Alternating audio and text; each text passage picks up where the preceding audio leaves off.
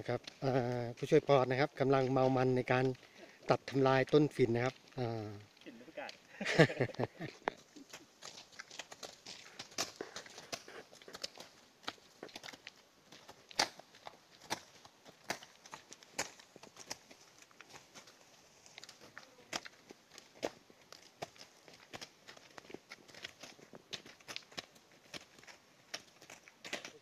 แต่ต้องมาถอนหญ้า